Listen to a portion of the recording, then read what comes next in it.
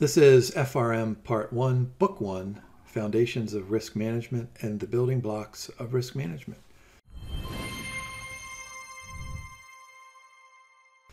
Before we get into the building blocks, I ought to tell you a little bit about myself so that you don't uh, suspect that I'm acting like George Costanza in that one great Seinfeld episode where he uh, passes himself off as an expert in risk management and gets hired as a mentor.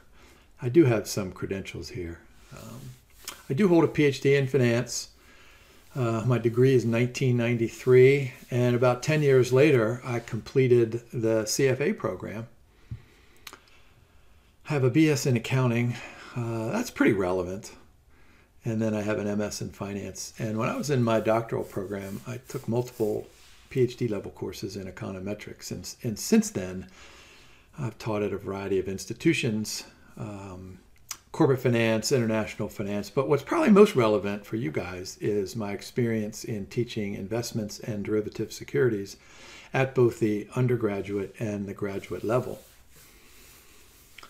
Uh, as you can imagine, risk management is pretty integral part of those two topics. And so we'll talk a lot about investments and derivative securities. And I will regularly say to you guys, hey, this is something that I teach my students in class every day.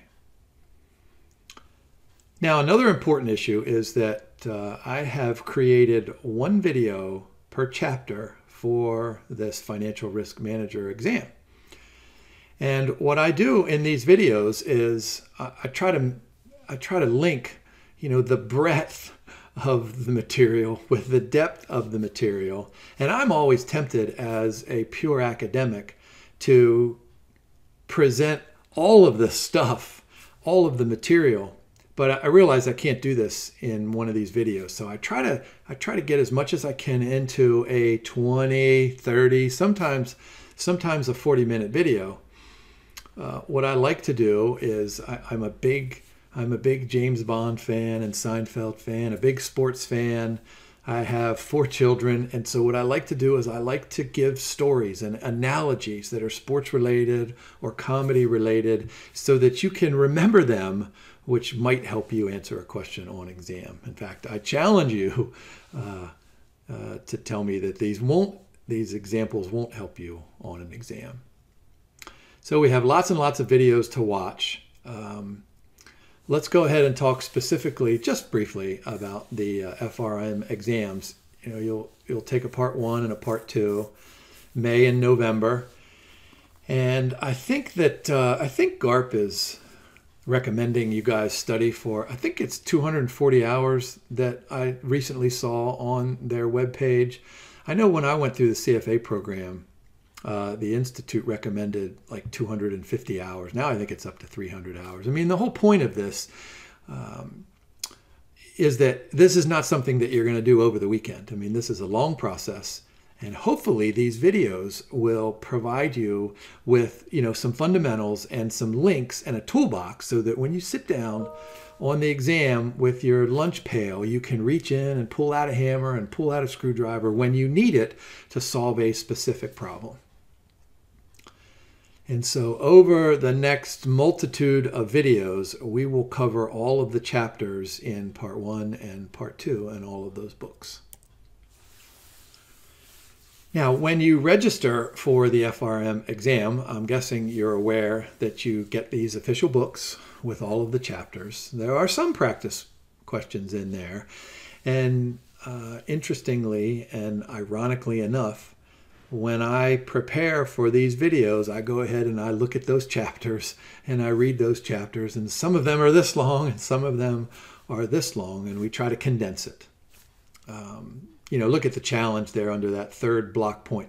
The amount of content and formulas included in these books uh, is substantial. Now, you also have access for a fee to some practice questions uh, through GARP. But what AnalystPrep does for you is provide, you know, kind of a summary and a condensation of all of the material that you get from the official books, puts it into a framework under which you can efficiently study Because let, let's face it, I mean, you could study, you could study for a thousand hours for one of these exams and still not pass if you're watching TV and playing Fortnite or jamming to rock and roll music or whatever it is. So we've got to do this efficiently. There are tons and tons of questions in the question bank, and the mock exams are very effective.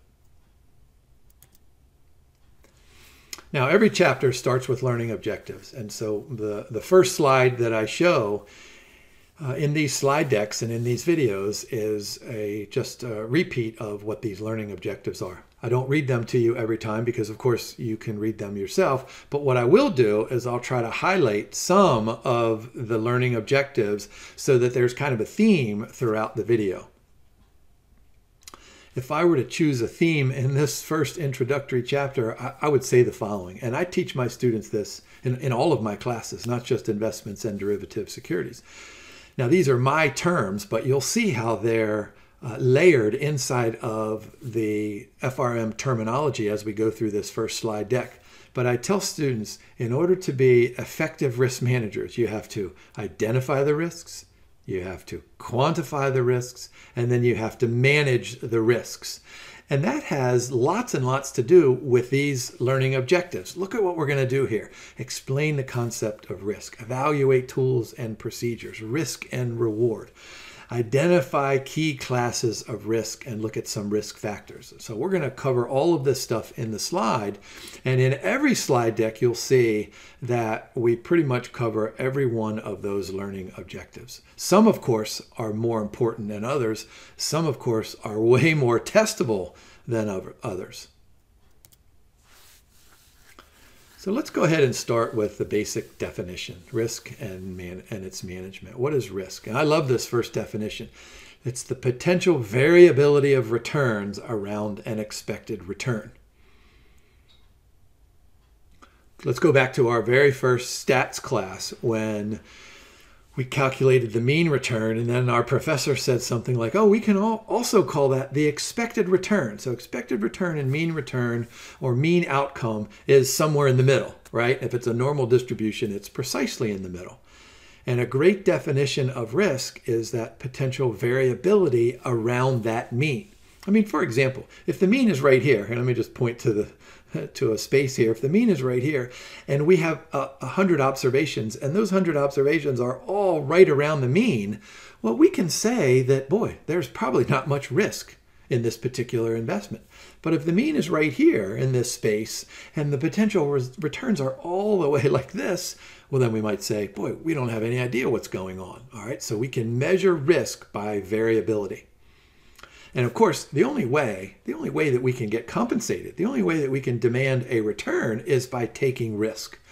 And we're going to talk at length throughout these uh, chapters about the linear relationship between risk and return and the nonlinear relationship between risk and return.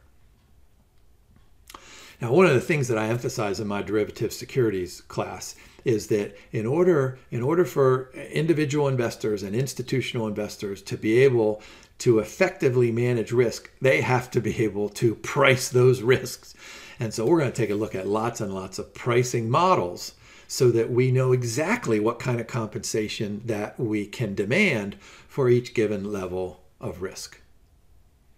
Now look at the bottom there. I have two blue words, risk, variability that can be quantified in terms of probabilities, uncertainty, variability that cannot be quantified at all. Let me give you my first sports example you know, I'm a gigantic basketball fan, and so I, I, can watch the NBA games and I can watch and marvel at LeBron James. But let's focus on just his foul shooting skills. So, what we can do is we can observe his foul shooting performance during the course of a season. And we count for a make and we count for a miss. And let's just suppose that LeBron is shooting foul shots at about 80%. So, what can we say that if LeBron is going into the playoffs, we can make some type of an inference that say, you know what, LeBron shot 80% during the season. He's probably going to shoot around 80% during the course of the playoffs. That makes perfect sense. So, let's define risk as that variability of LeBron's performance in the playoffs. And we're going to use a sample of his performance during the regular season. Now let's look at the mechanics of a foul shot here. I think this is pretty an interesting analogy. You know, the the referee hands uh, LeBron the ball and he stands there and he dribbles and he takes a deep breath. And remember, there are people, there are players on each team in the foul lane. There are a couple of refs out there. There are fans in the stands screaming their heads off either for or against him. And LeBron shoots it right? So we could say something like, you know, he has an 80% chance of making any individual foul shot. All right, so that's risk. But what about uncertainty? Let's suppose that LeBron is dribbling and dribbling, and right when he gets the ball up here, now he started his motion, so he can't stop it. Right when he gets up here, the lights in the arena go out. And LeBron continues his follow through and shoots the basket to the shoots the basketball to the basket. That's uncertainty the something, the variability that cannot be quantified. I mean, if this would happen, everyone would say, Oh, imagine that. We never could have imagined that such a thing would happen. And this is going to be really important when we talk about things like expected loss and value at risk when we're a financial institution and we have a $500 million portfolio. And one day, one day we lose $200 million out of that. And we all look at each other and say, Oh, imagine that. How did that possibly happen? So the lights going out for LeBron is very similar to the lights going out back in the 2007 and to 2009 financial crisis. But we need to be prepared for when the lights go out. So this is essentially risk management, you know, kind of on my terminology and my examples.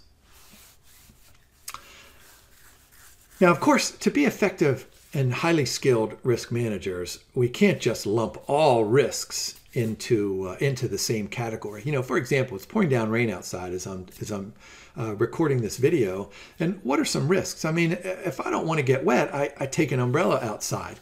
But there are other risks too. The wind could blow the umbrella out. I could step in a puddle and get my new shoes all wet. I could trip and fall and ruin my new suit. I mean, there are all sorts of risks. So so we need to classify them. And of course, uh, anybody who wants to classify risks can put together some gigantic flow chart. So we're going to start over at the left-hand side, and then we're going to work our way all the way over to the right-hand side. Let's start with market risks.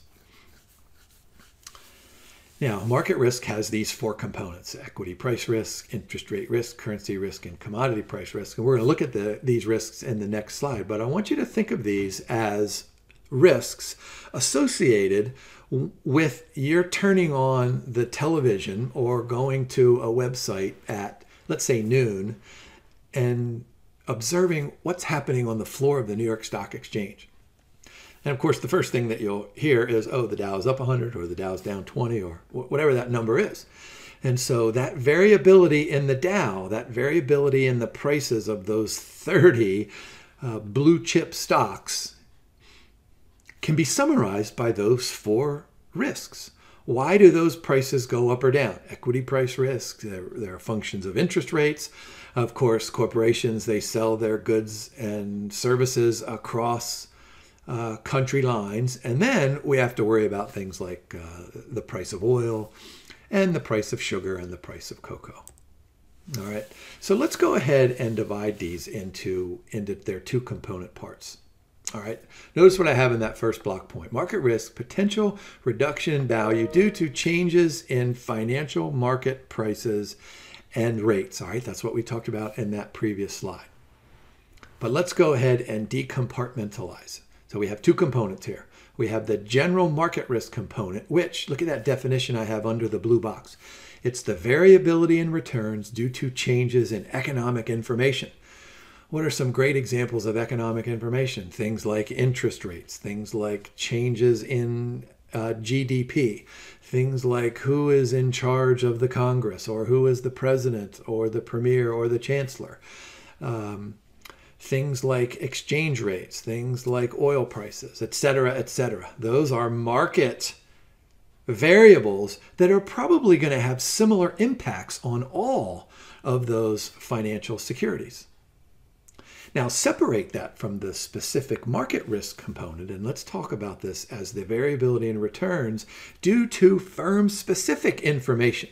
You know, let's take a company like uh, like Procter and Gamble. What does Procter and Gamble do? They they produce lots and lots of products that we use every day for personal hygiene.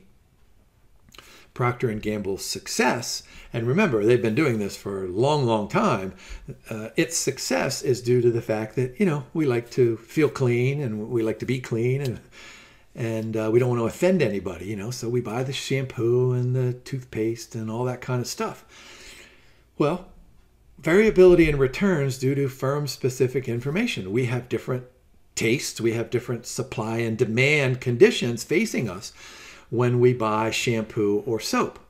And so Procter & Gamble's stock price is going to fluctuate depending on how many bars of soap that we want to buy this week. But it also fluctuates based on interest rates and inflation and all those general market component factors that I talked about just uh, just a few moments ago. All right, so remember there's two types of risk. General market risk and specific market risk. Now, of course, of course, investors are not going to hold just one share of stock inside of their portfolio. They're going to diversify.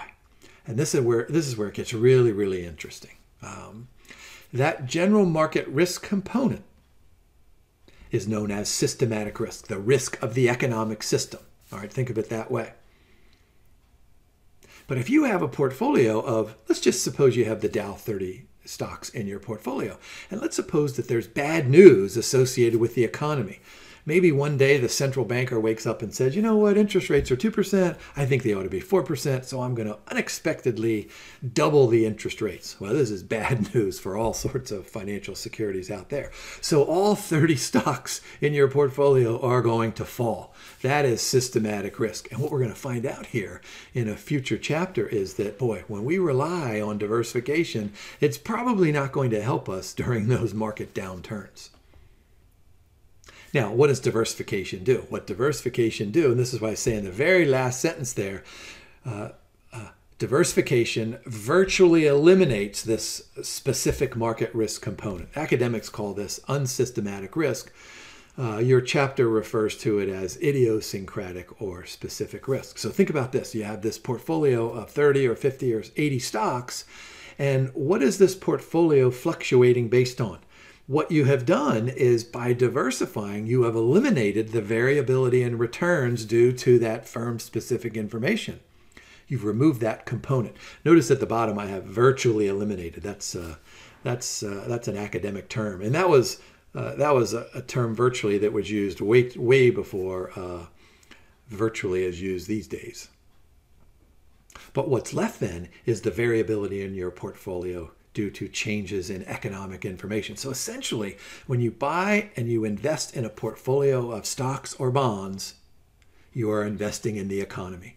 When the economy expands, chances are those firms and those stocks in your portfolio will realize price appreciation.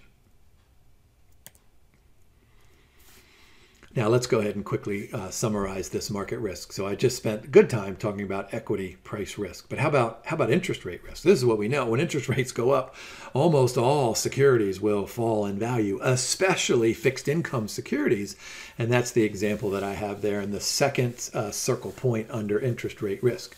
When interest rates rise, bond values fall. And so the portfolio with bonds are most definitely going to experience a loss in value. Except, I mean, there are some bonds out there that don't do that, but in general, that's going to be the case. Now, of course, corporations, they're just not simply domestic supply and demanders. You know, a company like Coca Cola, you know, gets, oh, 70 or 80 or maybe even more percent of its cash flows generated by uh, sales of its products out, outside of the United States. So Coca Cola's US dollar cash flow report is sensitive to the rate of exchange between the US dollar and all of these currencies out there.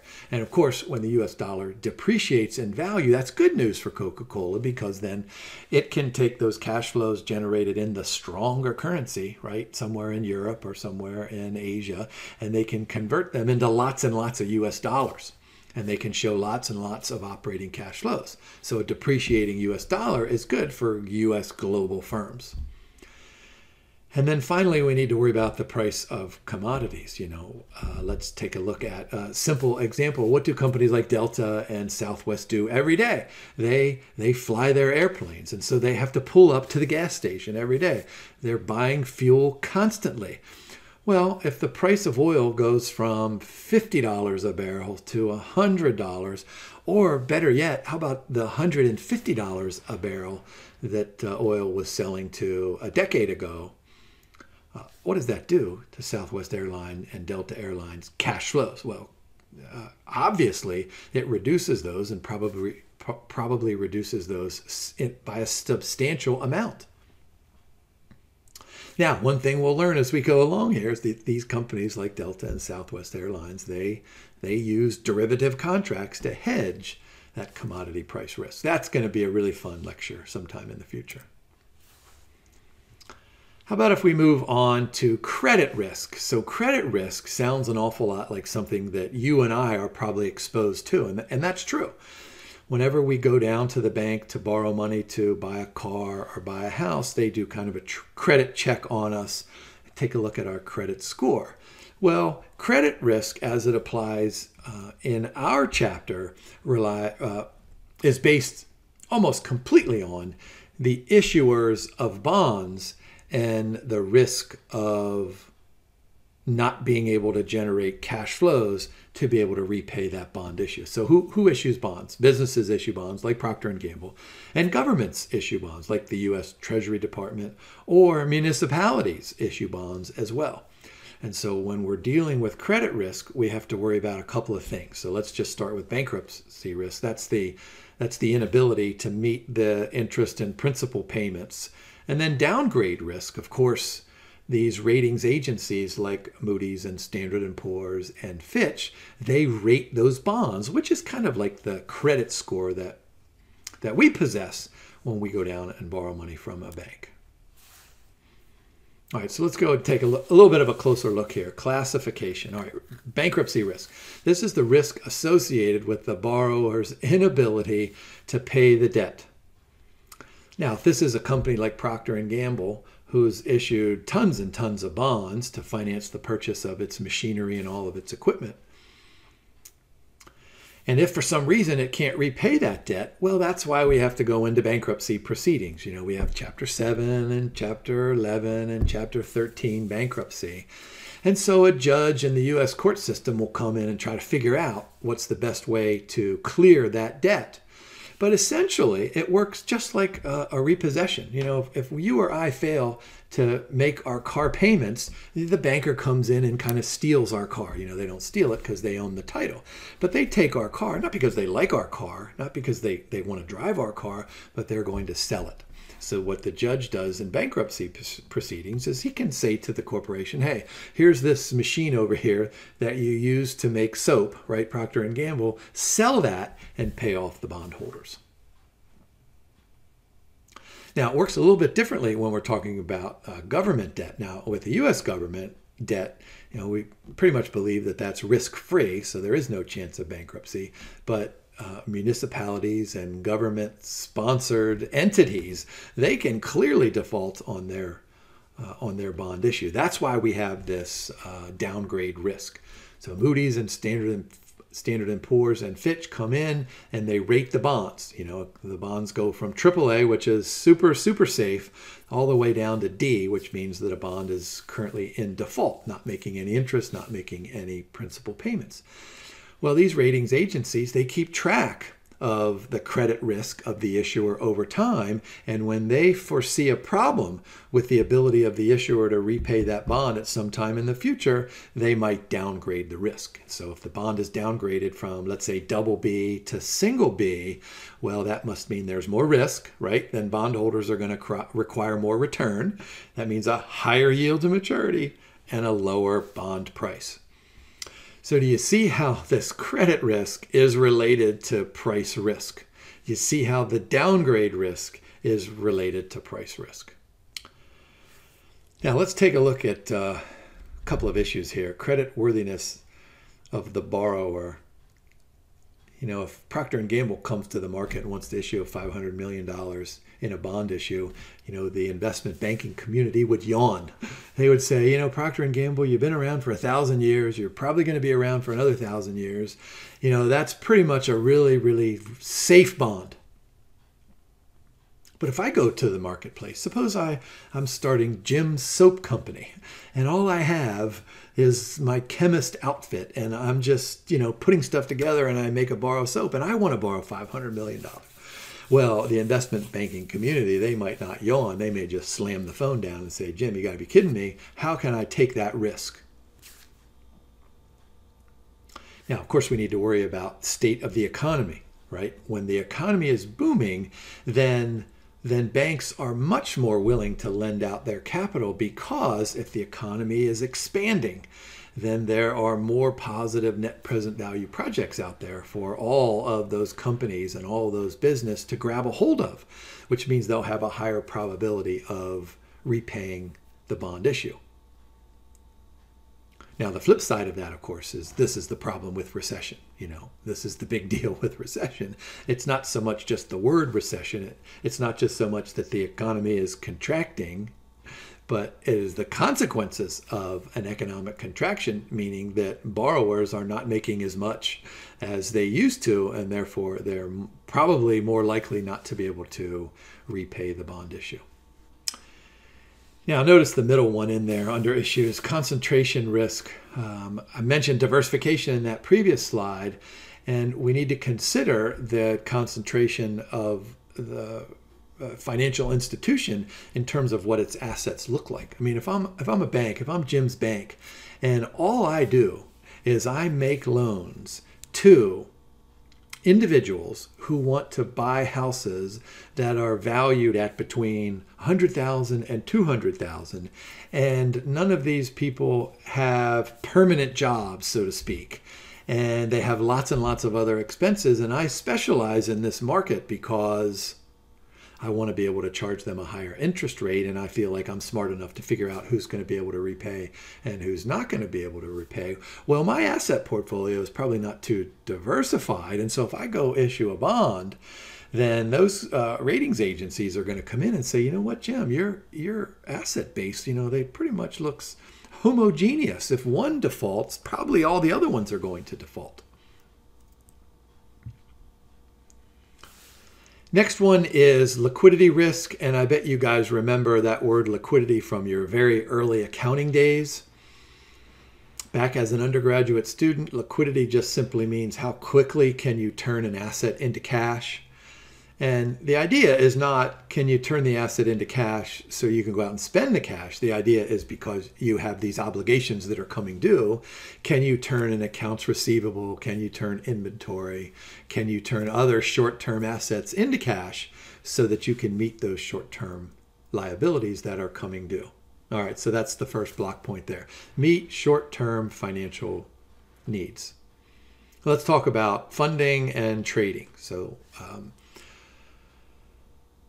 Remember, when businesses buy and sell to and from each other, they pretty much have these terms of trade. So they'll say something like, "Look, I'll let you have, I'll have, I'll let you have all, all of my materials if you agree to pay me in five days or ten days or fifteen days, whatever it is." So when that comes due, that comes due, you have an accounts payable. Can you meet it? Can you meet it when they are due? Funding liquidity risk. But then there's this trading liquidity risk. Let's suppose that as a financial institution, you have access to the commercial paper market or you have access to the repurchase agreement market. And so you may have some of these financial securities and you may be relying on those to satisfy some of your obligations. Well, let's suppose that you go to sell one of these financial securities and there are no there are no buyers. and you have to discount your price and you have to substantially discount your price. So if you owe this person over here $100 and you have to sell your asset for $80, 80 doesn't equal 100 and the person to whom you owe that capital is probably not going to be happy when you call and say, "Hey, will you take 80 because all right, so we got to manage this funding and manage the trading liquidity risks. How about operational risks? These are the risks of operations. I mean, that makes perfect sense. And the focus here in this part of the chapter is, uh, is the weaknesses that arise from those operations. You know, I remember back in my introductory management class, oh my gosh, this was back in 1981 or so, when the professor gave us this flow chart, and it was kind of a perfect flow chart of, of the operations of a business. And, you know, you start here and you bring in your customers and you satisfy your customers, and then you uh, draw down on inventory and you do all this stuff and then there's a sale at the end and so you go through all that operation and in that first class it was always it was always like a picture perfect scenario a perfect outcome that you do this and this and this and then you have the sale and you can generate the profit but of course there is going to be such events like a management failure like faulty controls or inadequate systems or some other operational weakness. Your textbook chapter mentions a few of these here. Anti-money laundering risk. You know, one of the responsibilities of the uh, financial services industry is to prevent criminals from disguising illegally obtained funds as legitimate income. One of the things you'll hear from me throughout these videos is I'm an avid reader I'm reading a fiction book now where these uh, bank robbers are robbing small banks in small uh, southern U.S. towns, and they have it all planned out. And uh, the police and everyone is saying, "Boy, these criminals are really smart. We're going to have to be really smart, or they're going to have to make a mistake before we can catch them." And so that was I was thinking about this uh, as I was preparing the video that uh, of course this makes perfect sense. We need we need to have a model in place, a system in place so that so that when they make that mistake, we catch them right away. Uh, cyber attacks, this is an obvious notion here. Model risk, uh, we're going to talk about this at length uh, throughout all of these multiple videos in the relatively near future. Um, we have these models and we can input some data into the models and, and, we can process the model and then we can look at the output and we can evaluate and make inferences based on that output. But but if it's stinky data going in we're going to have stinky output coming out. And so we have to have a model that reflects reality and this is a big challenge for us. And then finally how about business strategic and reputational risk. These, these are obvious ones here. So business risk, um, in the academic world, we call business risk as really the variability in operating income. So think of think of the income statement for a business. You start with revenues, which is just P times Q, right? Price times quantity. So you have all those revenues up here, and then you have all of the expenses.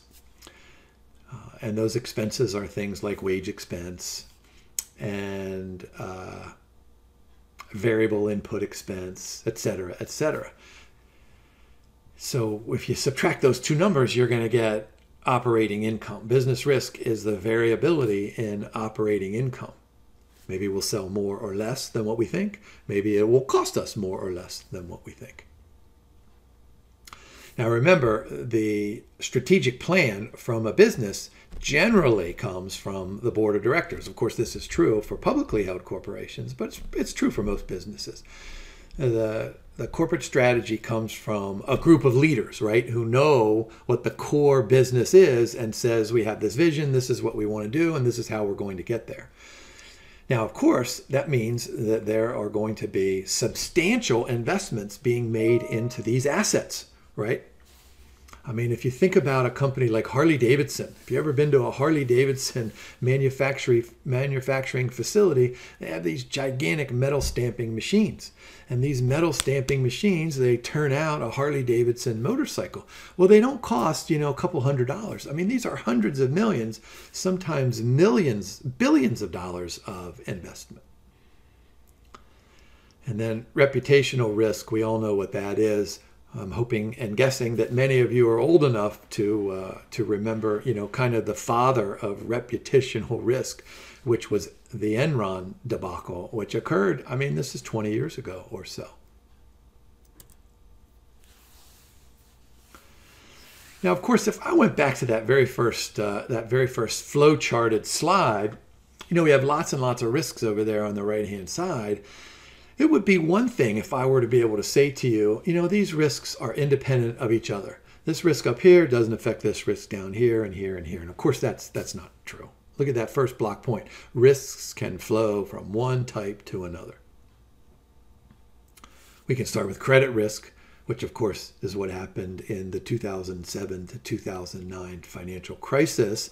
I mean, this started, you know, some people say it started in the mortgage backed security market, which started because of uh, lots and lots of loans to homeowners who couldn't afford the homes that they were buying. So they bid up the price of housing. So this was kind of a bubble.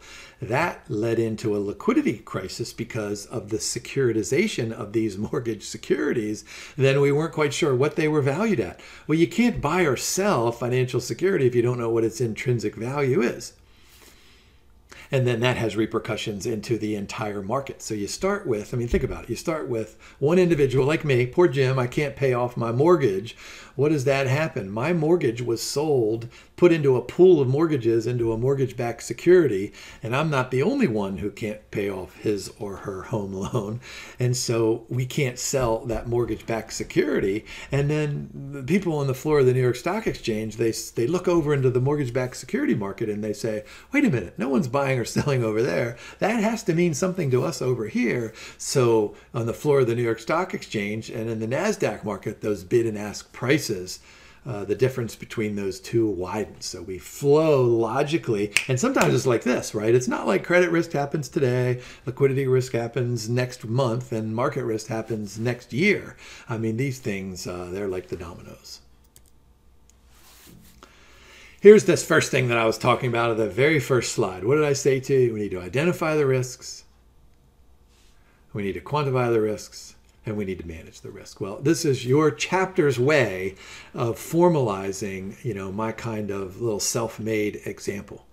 So notice we've got identify, then we're going to analyze, then we're going to manage, and then we're going to assess. So identifying these risks means that we give them a name, we categorize them, we understand uh, what they are. Then we analyze them. So we can give them a credit score, we can rank them, but we're going to measure them. And we can measure them by a couple of different ways. I mean, you know, we'll talk about beta of a share of stock, we'll talk about duration for a bond. Uh, we'll talk about value at risk. I mean, there's lots and lots of ways to measure and to measure these particular types of risk, and then we quantify them with our particular portfolio. And then how do we manage these risks? Well, a couple of different ways. I, I had a I had a friend who uh, was afraid of flying and went to a therapist, and the therapist said, "Well, don't ever get on an airplane again." And I thought, boy, that's simple risk management uh, solution, right? You could just simply avoid it, or you can just get on the airplane, right? You can retain it, or you can uh, you can mitigate it by you know going through the process of you know figuring stuff out, however that works take some medicine, whatever it is, or you could pay someone else to fly for you. And that's really the cool one here in this manage the risk, the transfer. We're going to use lots of derivative securities to transfer the risk to somebody who, who wants to take that risk. And then, of course, the last step is, is to assess. And I don't ignore that in my three-part process, but uh, you know, this one tells us that all right, this is what we've done so far. How good were we in doing those first three things?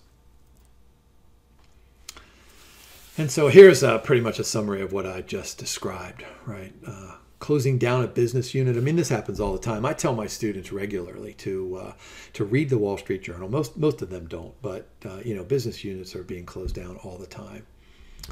Uh, accepting the riskiness of the project when we retain it, um, mitigation, and risk transfer. I think we've covered all that stuff. Uh, this is an interesting little picture here. Um, risk managers should not concentrate on known risks only, but also the unknown risks. And I see this and I observe this regularly as I'm watching football and basketball on television, and as my children have aged through basketball and soccer and golf, and I see coaches and coaching strategy, and oftentimes I'll say to myself, you know what, that decision indicates to me that that coach really doesn't know anything, and that coach does not know what he or she does not know. And nothing is uh, irks me more than this past season in football, where coaches are going for two uh, when they should not go for two. That's an unknown unknown.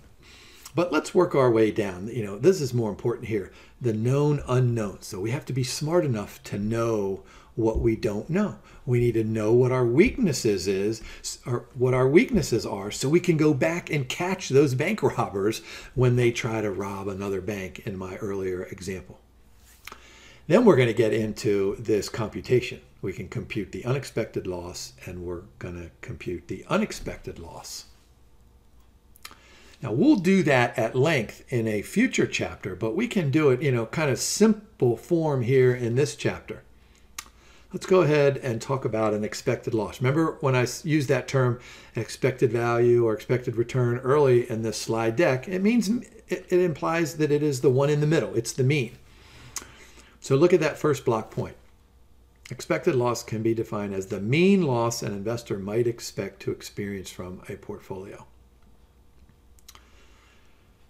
All right, so what do we have? We have uh, we have expected loss as a function of three variables: probability of default, and so that's going to be based on our assessment of what are the chances that this issuer is not going to be able to make the next coupon payment, right? Probability of default. So that's going to be right a decimal, like five percent or twenty-five percent.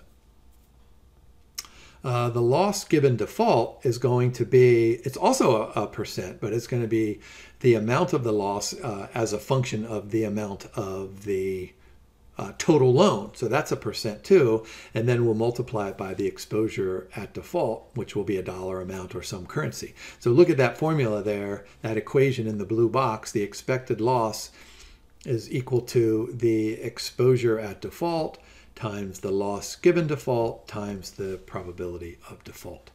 And the reason that this is so important is so we can determine what those interrelationships are.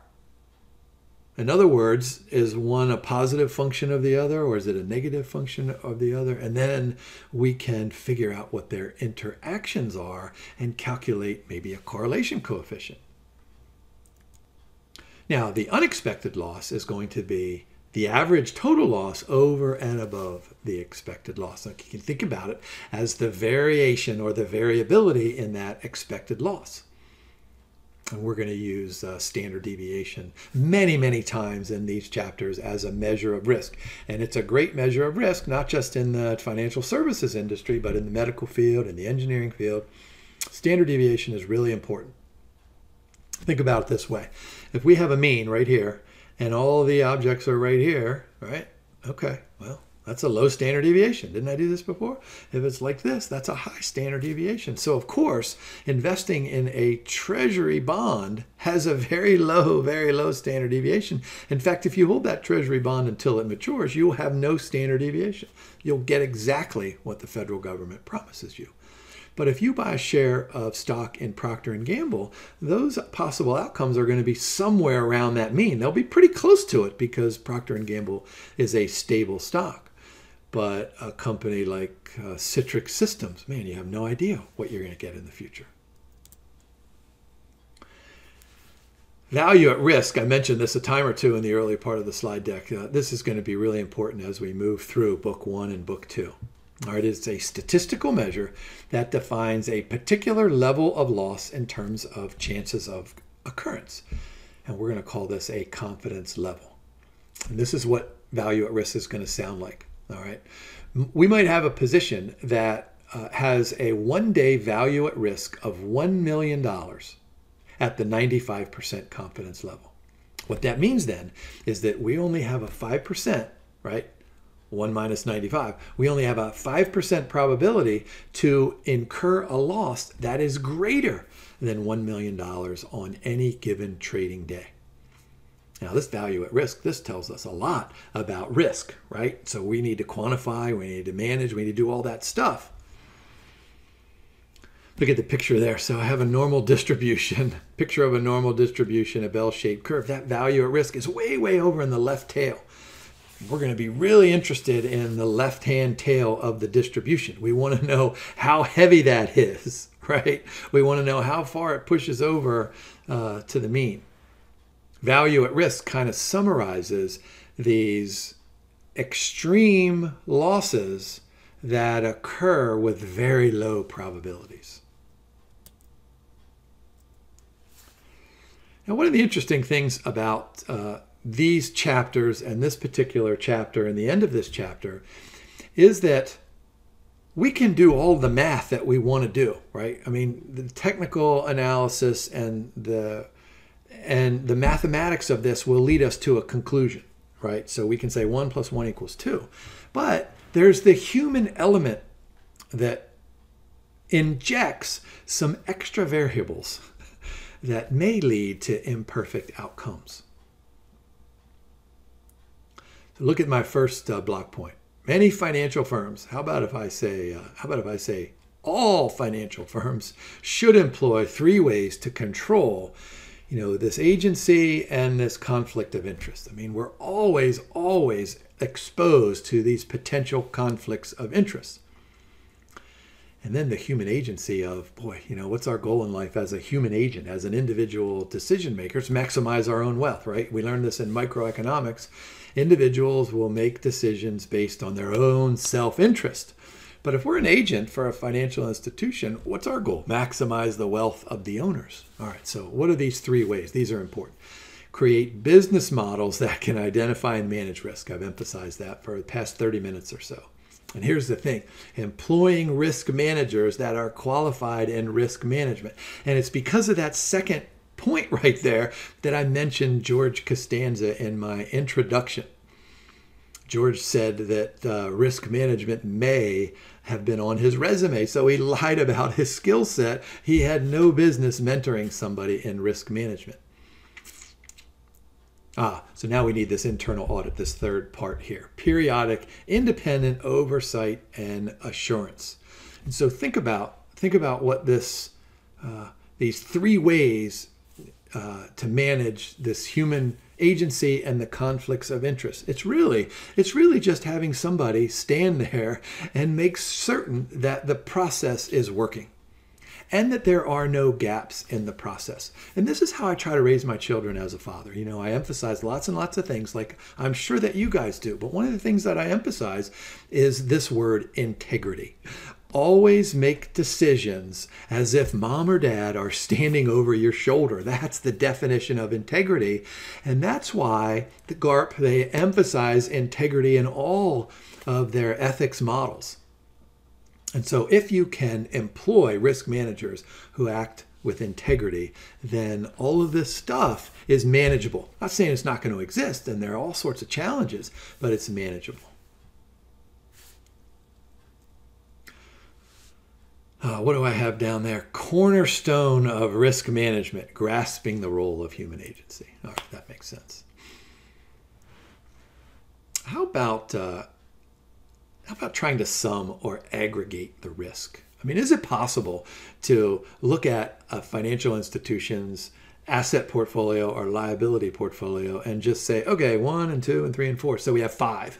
Is it possible to do that? And, and the answer is, well, sometimes it is, and, and sometimes it's not.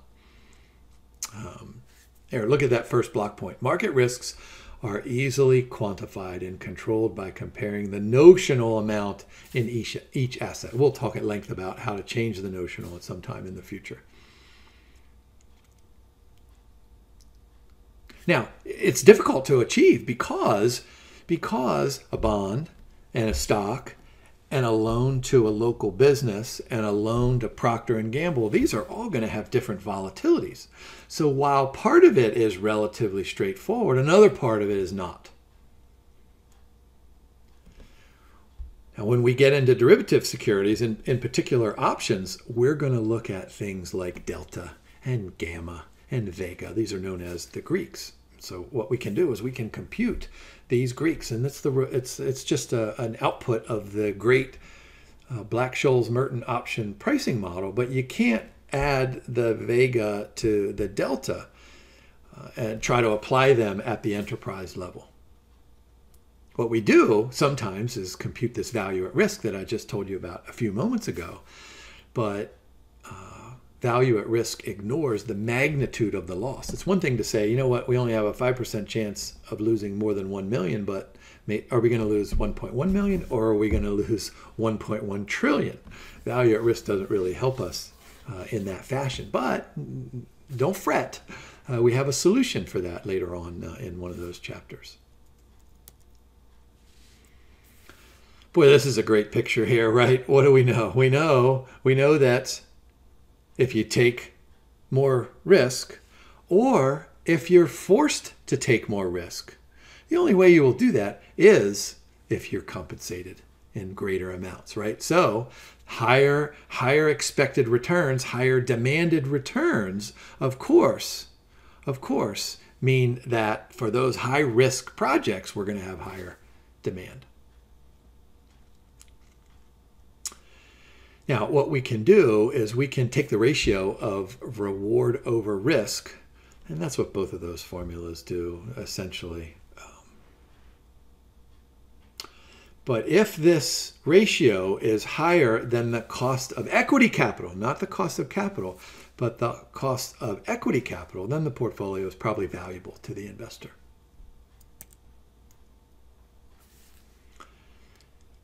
Now, one of the things that is easy to do as a manager of a financial institution is to view the assets and the liabilities in terms of their silos.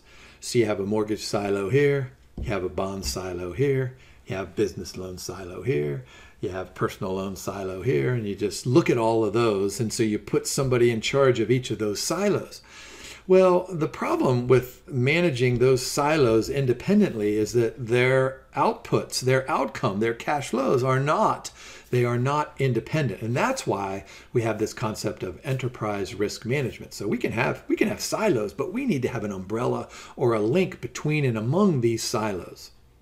So look at this ERM process of planning, organize, leading, and controlling the activities of an organization in order to minimize the effect of risk on an organization's capital. So it overcomes the challenge of that siloed management where each unit is uh, of an institution manages its own risk independently.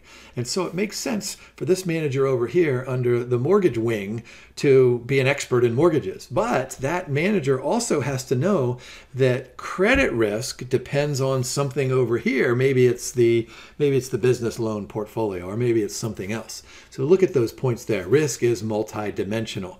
So while these silo managers have to be experts in their own silo, they also have to be inter experts between and among. Specialized judgment, of course, statistical science application. Notice this risk develops across all risk types.